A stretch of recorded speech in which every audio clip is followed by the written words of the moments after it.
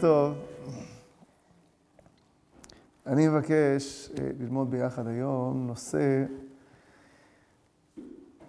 שכל אחד ואחד מאיתנו חווה אותו. הוא נושא שהכותרת שלו זה שחיקה זוגית. כלומר, המציאות היא שזוג, אחרי שנה, שנתיים, שלוש, ארבע, יש איזושהי שחיקה. שצריך להתמודד איתה, צריך להבין מה היא, וצריך להתמודד איתה. עכשיו, השחיקה, יש לה כמה מאפיינים. יש לה מאפיינים פשוטים, כמו בכל דבר בחיים שעושים אותו הרבה. חז"ל אומרים, ביטוי ליבו גס בדבר. אדם, כאשר הוא מתרגל למשהו, אז הוא פחות מתרגש, הוא פחות שם לב. למשל, ביום כיפור, ערב יום כיפור, אומרים שחובה על אדם לבקש סליחה באופן אוטומטי מכל מי שהוא פגע בו, אבל באופן אוטומטי מבן בת הזוג שלו ומההורים שלו. למה? מכיוון שאיתם בדרך כלל הוא אה, פחות שם לב, ליבו גס בהם. ביטוי קשה של חז"ל, אבל זה, זאת המציאות. אדם מקבל שיחת טלפון ממישהו שהוא לא רגיל לדבר איתו ביום-יום, אז בדרך כלל הוא מגיב בצורה יותר מעודנת, יותר ביום-יום. ולכן זה מימד אחד. אבל יש מימד אחר. יש מימד של שחיקה שהוא מימד רוחני, שבו אני רוצה לעסוק. חז"ל אומרים, קירום זולות לבני אדם, אלו דברים שעומדים ברומו של עולם, ואנשים מזלזלים בהם. כלומר, זוגיות, אין לך דבר יותר חשוב מזוגיות. זה ברומו של עולם, אבל יש נטייה כזאת. ולמה? יש גמרא במסכת שבת, שככה דנה בהקשר של מחלוקת בין רבי עקיבא לרבי אליעזר, על uh, צורכי מילה. האם מכינים אותם לשבת. אז אומרת הגמרא, אמר רבי יצחק, עיר אחת הייתה בארץ ישראל שהיו עושים כרבי אליעזר. היו הולכים בזה כדעתו של רבי אליעזר, והיו מתים בזמנן. מה הכוונה היו מתים בזמנן? כלומר, אף אחד לא היה מת לפני הזמן שלו. היו חיים באריכות ימים, כל אחד על פי הזמן שהוא צריך לחיות בו. ולא רק זה, אלא שפעם אחת גזרה מלכות הרשעה גזרה על ישראל, על ברית המילה, ועל אותה העיר לא גזרה. העיר הזאת היה בה סגולה מיוחדת, שא', מתים בזמן, יש כאלה שיגידו שזו סגולה לא טובה, אבל רוב האנשים יגידו שזאת סגולה טובה, וב', הייתה מוגנת מצרות. למה? הגמרא מסבירה שהם כל דבר שהם נצטוו על ידי רבי אליעזר, עשו אותו בשמחה. עשו אותו באהבה. ואז הגמרא נותנת דוגמה בכלל על מצוות שעושים באהבה ומצוות שעושים עם פחות אהבה. ואומרת הגמרא, למשל, מצוות מילה, בשמחה או לא בשמחה? איך אנשים עושים מצוות מילה? בשמחה. שש אנוכי על אמרתך כמוצא שלל רב, אומרים חז"ל, זאת ברית המילה. איזו מצווה לעומת זאת היא פחות בשמחה? שאומרת הגמרא שקיבלו אותה בקטטה, באיזשהו צער, באיזושהי מורכבות, כגון עסקי המשפחות, כגון עריות. וישמע משה את העם בוכה למשפחותיו על עסקי משפחותיו. ולכן, אומרת הגמרא, ועדיין עושים את זה בקטטה, דליקה כתובה דלא רמו בתיגרא, שאין כתובה שאין בה איזה מריבה. אין בית שאין בו מדי פעם מריבה. עכשיו, למה? למה המציאות היא שבתוך זוגיות יש שגרה כזאת שלפעמים מטשטשת, או יש מריבה? האם זה, אגב, חובה? או שאפשר לפסוח על זה? אומרים שזה בריא. אומרים שזה בריא. יש צעד שבעצם לא, מש... לא מריבה, אלא משבר, שהוא באמת חושף נקודות פנימיות. שהוא מגלה, מגלה משהו. מה זה משבר בעברית? זה גם לידה. לשבת על המשבר זה לשבת על כיסא לידה. אז פה אני מסכים איתך. אבל יש פה עוד נקודה. יש פה עוד נקודה שבעצם, אם נבין אותה, נבין מה יש בזוגיות שמעורר את הקושי הזה. ואני מבקש עוד מקור אחד קצת מורכב, ואז נחזור אל היום-יום. הגמרא מסכת סוטה מביאה שני מודלים של זיווגים. אחד, אומרת הגמרא, אין מזווגין לו לאדם אלא לפי מעשיו. שנאמר כי לא ינוח שבט הרשע על גורל הצדיקים. למי מפילים איזה מרשעת? לרשע. למי מפילים צדקת? לצדיק. אין מזווגים לאדם אלא לפי מעשיו. אגב, מה זה אומר? שאם לאדם יש קושי עם בן או בת הזוג שלו, על מי הוא צריך להסתכל במראה? על עצמו. זה לא, זו אמירה לא פשוטה של חז"ל. כמובן, לא צריך להקצין עם זה. הרי אה, סיפרתי לכם לא, על הזוג הזה, ש... זוגיות קטסטרופלית. וישבו אצלי אה, איזושהי שיחה זוגית, וניסיתי ככה לעורר אצלם קצת נוסטלגיה של אהבה זוגית שהייתה בהם. והבעל אין, לא אטום, שום דבר. אני אומר לו, רגע, אתה לא אוהב את אשתך? לא סובל אותה. בסדר, היום, בסדר. לפני שנה, לא. לפני חמש שנים, לא. כשהתחתנתם. אתה פותח עכשיו את האלבום חתונות, אין תמונות עם חיוכים? אומר לי, לא, לא אהבתי אותה. אז למה התחתנת איתה? סיפור אמיתי. אמר לי, כי הרב אמר לי שזה התיקון שלי. אז כמובן שרב כזה צריך לשלוח אותו לתיקון. כי אין דבר כזה. זוגיות זה לא היא התיקון שלך ואתה התיקון שלה. אבל באיזשהו מקום, לפי הגמרא הזאת, כן יש מימד כזה. שאנחנו תיקון אחד של השני, שמזווגים לו לאדם לפי מעשיו. אבל הגמרא מיד מקשה על זה. והרי אמר רב יהודה, אמר רב, ארבעים יום קודם יצירת הוולד, בת קול יוצאת ואומרת, בת פלוני לפלוני, בית פלוני לפלוני, שדה פלוני לפלוני, כמו שגדלים תמיד עם החלום הזה, שיש בת קול שמכרזת ואומרת, כלומר, על פי מה הזיווג שלי? על פי המעשים שלי או על פי מה שרשום למעלה בשמיים? על פי מה זה? לכאורה, על פי הגרסה הזאת, זה על פי מה שקבוע למעלה בשמיים. זה בכלל לא על פי המעשים שלי. איזשהו ככה החלטה אלוקית, שזה מה שיהיה. אני שואל אתכם, אתם החלטה אלוקית או אתם בחירה? מה אתם? גם וגם?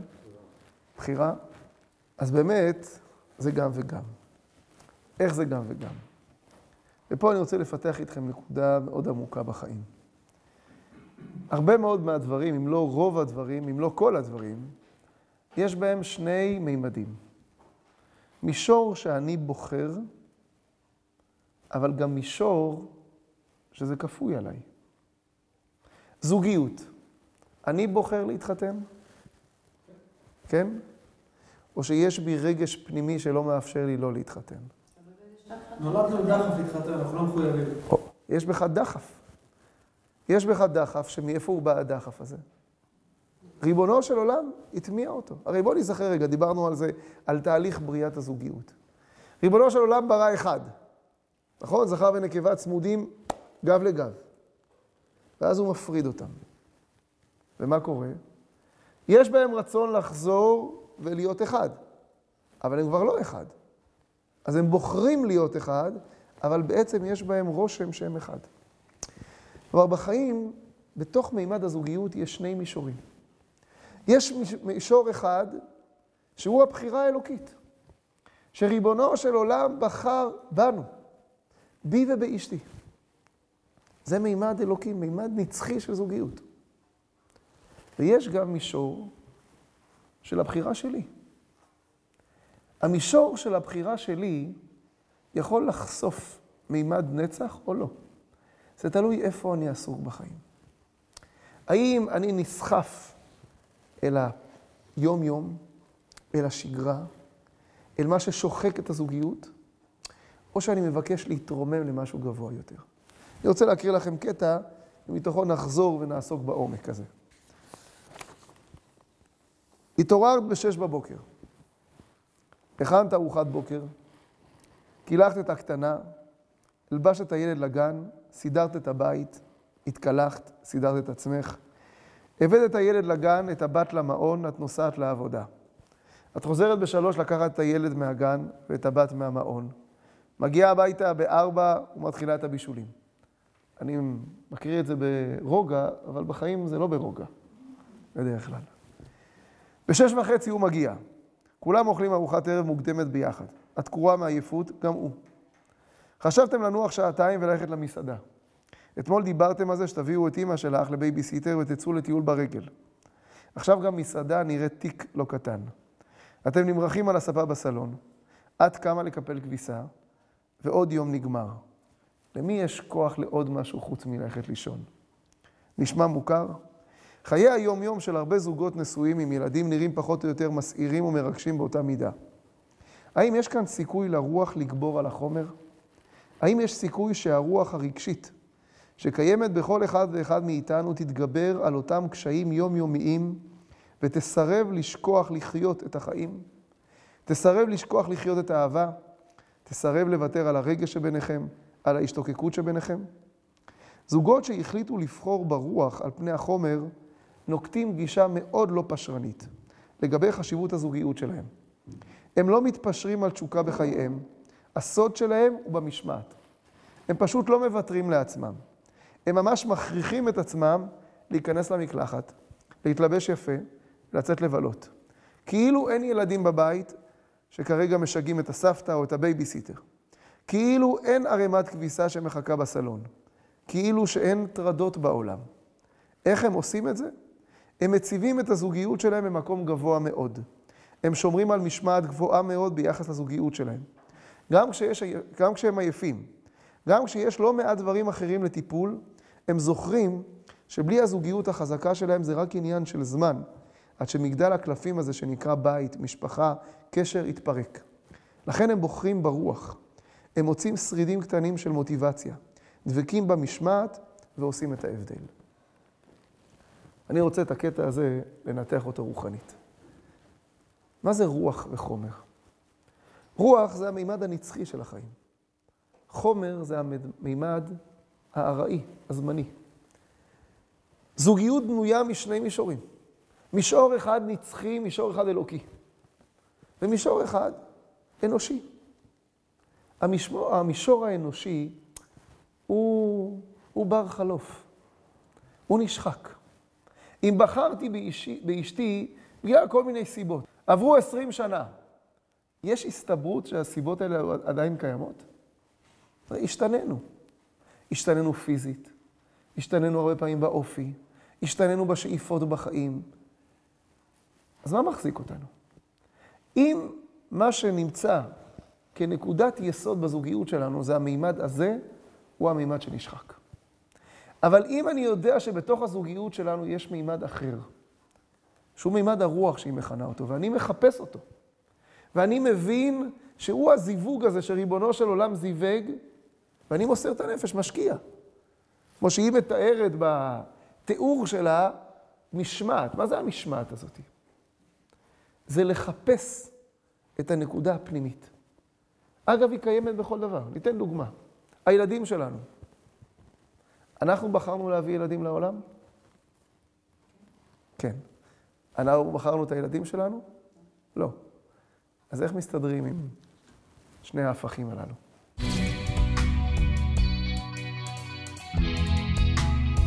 המבחן האמיתי בחינוך ילדים הוא לא אם אני אוהב את הילדים שלי, האם אני בוחר אותם. איך אני בוחר את הילדים שלי? אם אני עסוק במימד הרגעי, החיצוני של הילד, יש סבירות גדולה שאני לא אבחר בו. הוא היפראקטיבי, הוא לא גאון, הוא עם שני ידיים שמאליות, הוא עם תעודה, הכל גרוע. זה מה שאני אבחר בו. אבל אם אני מבקש לחשוף את הקשר הפנימי המיוחד הזה, את הנצח הזה, אזי אני לומד לאט לאט לבחור בו, אף על פי שלא בחרתי בו. זוגיות בסופו של דבר, המימד האמיתי של הזוגיות, זה המימד שצריך להיחשף לאט לאט. במסירות נפש הזאת. אמרה לי פעם אישה, אתה יודע מה הבעיה? כל דבר בחיים זועק זעקה כשלא מטפלים בו, חוץ מזוגיות. אדם לא מגיש עבודה שהוא צריך להגיש בעבודה. מה קורה? ואם הוא חוזר על זה עוד פעם ועוד פעם, מה קורה? מפטרים אותו. אישה מחליטה שהיא לא עושה יותר כביסות, או עם הבעל לא. צריך לעשות את זה. לא עושים יותר כביסות, נמאס. מה קורה? תוך שבוע הבית נראה ערימה של כביסות. אישה מחליטה שהיא לא מבשלת יותר. כל דבר יזעק את הזעקה שלו, חוץ ממה? חוץ מהזוגיות. עכשיו, למה שאני אשקיע בזוגיות? יכול להיות צעד אגואיסטי, כדי שיהיה לנו טוב. אבל זה רובד הראשוני. הרובד העמוק הוא להבין שעל ידי זה אני אחשוף את הזוגיות שלנו, באמת, את הקשר האמיתי בינינו. רוצה להקריא לכם קטע דומה למה שהקראתי. איך עושים את זה? חיים ממשיכה את מה שתיארנו. כמה פעמים, מתארת אותה אישה, אני עוצמת את עיני האימא, את עיני האישה שבי, מתעלמת מהבלגן בבית, מערימת המטלות, ופשוט כן, לפעמים בכוח, עושה סוויץ'. עכשיו אני אישה והוא גבר. ואם לא אשקיע במקום הזה, מה שווה הכל? מה יישאר אחרי שיגדלו הילדים, אם יישאר בכלל? לא חייבים לצאת מהבית. פשוט לשבת ביחד, לשתות משהו, ארוחת ערב, ולהתחיל ולהשקיע. פה אני מסייג, כן צריך לצאת מהבית. בתוך הבית בדרך כלל לא מצליחים. פעם בכמה חודשים לצאת ביחד. אפילו לילה אחד למלון או לצימר, זה שווה את זה. כביסה אף פעם לא נגמרת. בלגן תמיד מתחדש. כסף, האם נזכור על מה הוצאנו אותו? אפשר לחסוך מהדברים הפחות חשובים ולהשקיע בבילוי המשותף. אני מבטיחה, בעיקר לאישה. לפעמים קשה להתחיל, אבל כשמתחילים, הכוח מגיע. מה יוצא מזה? בעל שמח, בעל מעניק, אישה שמחה וזוג עד 120. מה יוצא מזה? יוצא מזה מימד הנצח שיש בזוגיות. חושפים את הנקודה הפנימית האמיתית. שחיקה זוגית היא כאשר אנחנו עסוקים רק בחיצוניות של הזוגיות. אז הזוגיות נשחקת. אז ליבו גס. באמת, זה נשחק. כי אתה עסוק במציאות המאוד מאוד נמוכה. כשאתה מחליט שאתה לא עסוק רק בזה, ואתה מחליט במסירות מאוד גדולה, אתה מתרומם מהשחיקה הזאת. אתה מתרומם אל מקום אחר. עכשיו, הדרישה הזאת, אגב, היא דרישה הלכתית. היא דרישה הלכתית שנקראת שנה נקי יהיה לביתו. יש מצוות עשה מדאורייתא. זוג מתחתן, הוא צריך עכשיו שנה שלמה להיות ביחד כל הזמן.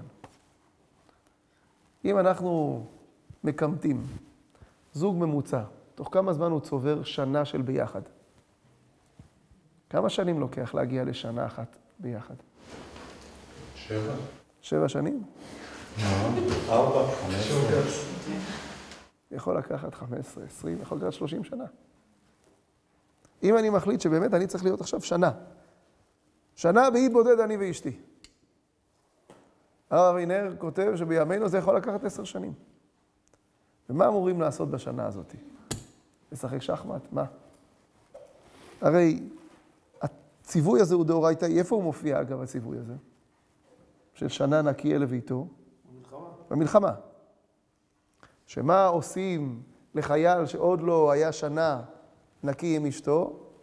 פטור ממילואים. הרב, אגב, הרב דרוקמן, כשהוא היה חבר כנסת, הוא תיקן חוק כזה, שבשנת נישואים הראשונה לא קוראים לבעל למילואים. אבל זה לא החזיק מעמד, כי פה אנחנו נמצאים תמיד במציאות של חירום, ובחירום, במלחמת מצווה, מוציאים אפילו חתן מחופתו. עכשיו, אנחנו לא במלחמה, זוג ממוצע לא נמצא במלחמה. עכשיו, כדי להגיע אל היעד הזה, של גילוי הנצח ביני לבין אשתי, שזה אגב עבודה מתמדת. חז"ל נותנים לזה כלל, שכולנו מכירים אותו.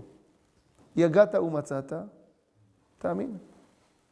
מצאת ולא יגעת, אל תאמין.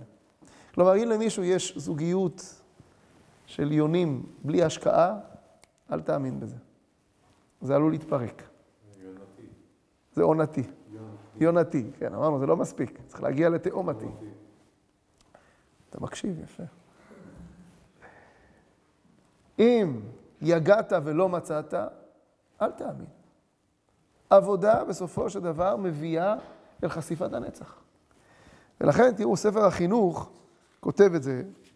ספר החינוך כותב במצווה בפני עצמה, כותב, מצוות נקי יהיה לביתו. מה היא? מצווה שישמח חתן עם אשתו שנה ראשונה. שנצטווינו שישמח החתן עם אשתו שנה אחת. כלומר, מה זה אומר? וכמה דברים. אחד, שלא ייסע חוץ לעיר לצאת למלחמה, ולא לעניינים אחרים, לשבת זולתה ימים רבים. כלומר, מה אתה עושה עכשיו במשך השנה הזאתי? מהי המגמה שלך?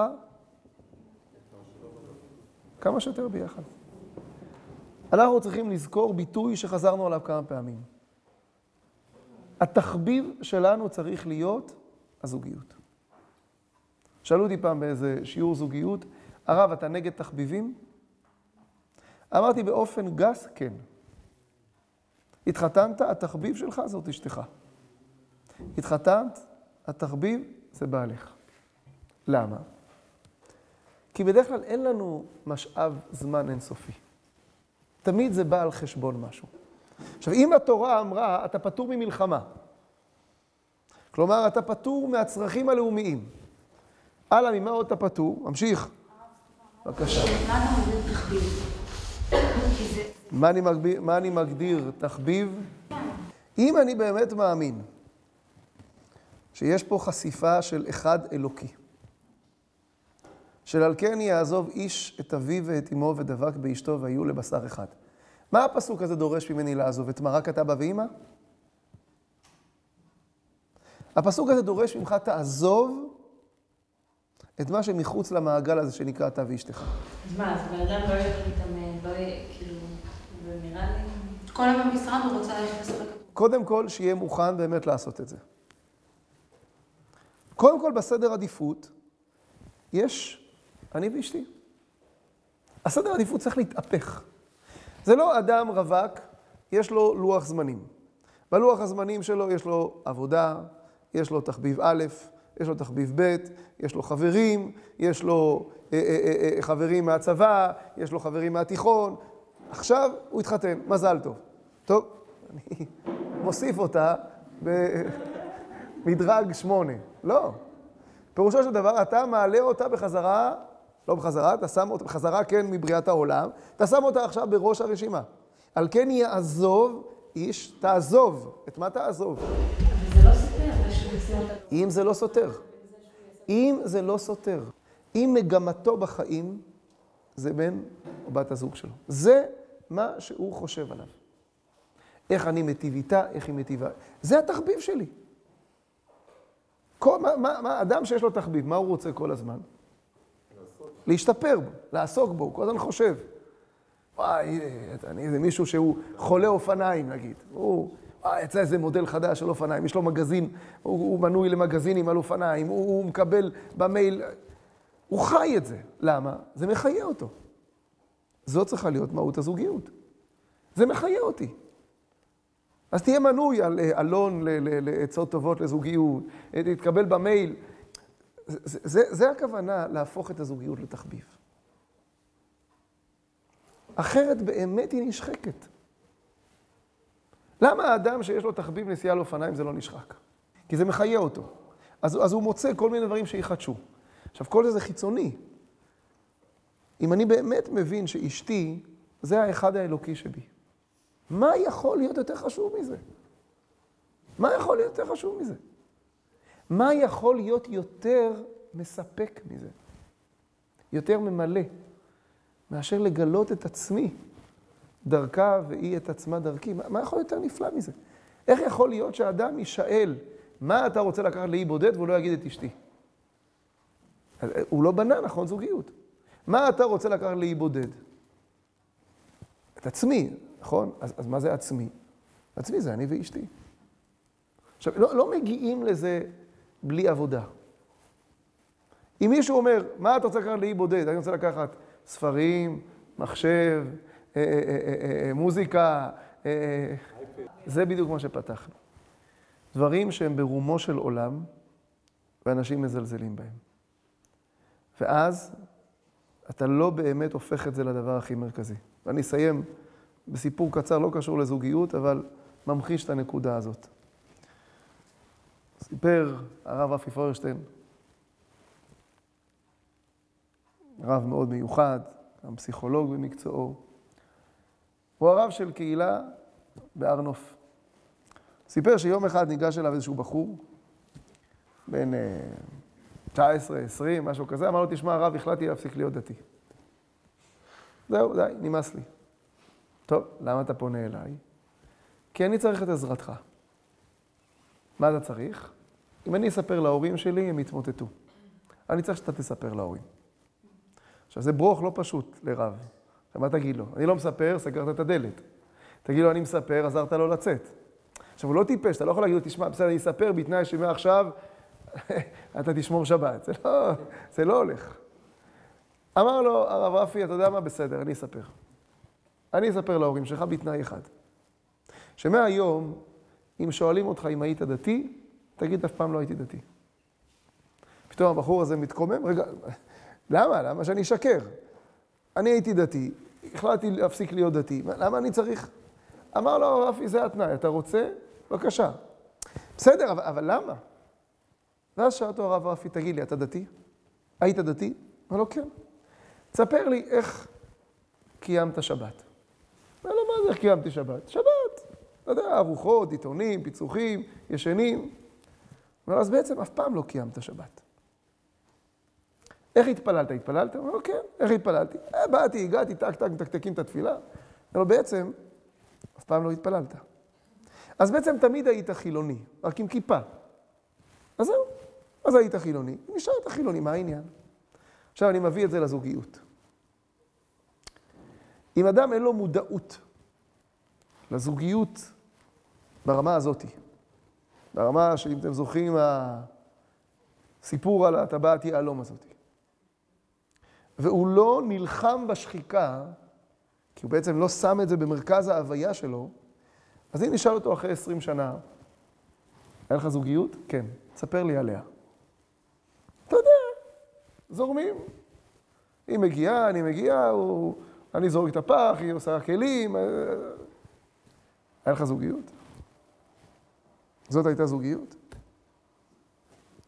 ולכן, זה שהם לא שמו את ההגדרה, אני יהודי, זה אומר שזה לא פועם בהם. ואז באמת, זה לא פשוט. טוב, אנחנו נעצור כאן, ובעזרת השם נמשיך בפעם הבאה. תודה רבה.